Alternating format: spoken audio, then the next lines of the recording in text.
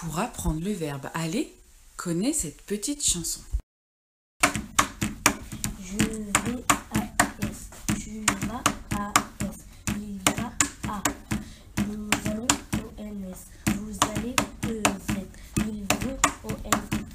Si tu connais la chanson, alors tu connais ton verbe et tu sais même l'écrire.